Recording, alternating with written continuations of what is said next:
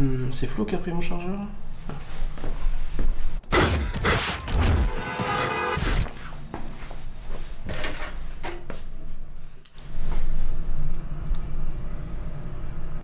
Oh le con.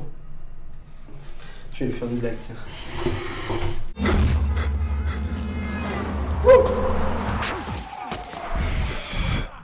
Mais ce que Flo n'avait pas vu, c'est que deux complices de l'agresseur se tenaient embusqués.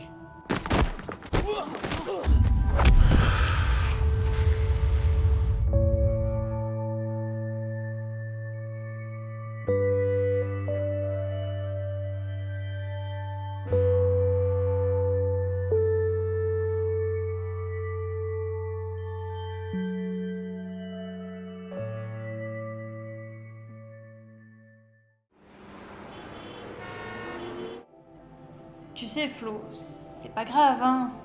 Ils étaient trois en même temps.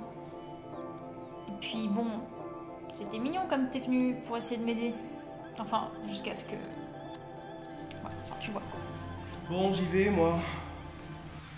Bah alors, Flo, il t'est arrivé quoi, mec? Mais écoute, une histoire de dingue. J'étais en train de marcher dans la rue, et puis là, il y a un type bizarre qui s'approche de moi. Et là, Flo arrive à ce moment-là, du coup, il s'approche pour venir m'aider.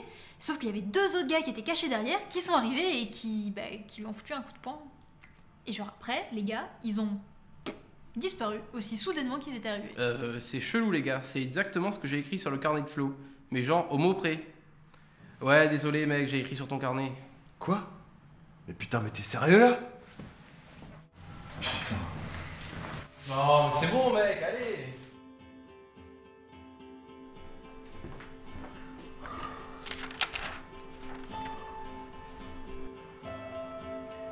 Mec, si tu voulais pas que j'écrive dessus, fallait pas le laisser là, ton carnet. Non mais Matt, laisse tomber, tu peux pas comprendre, mais t'aurais pu me tuer, putain.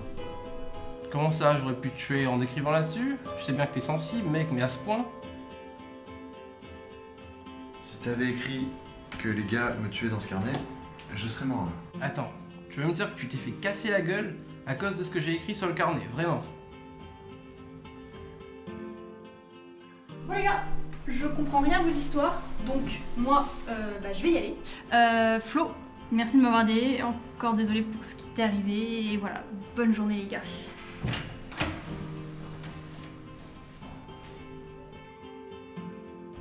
Flo, c'est ce que je pense.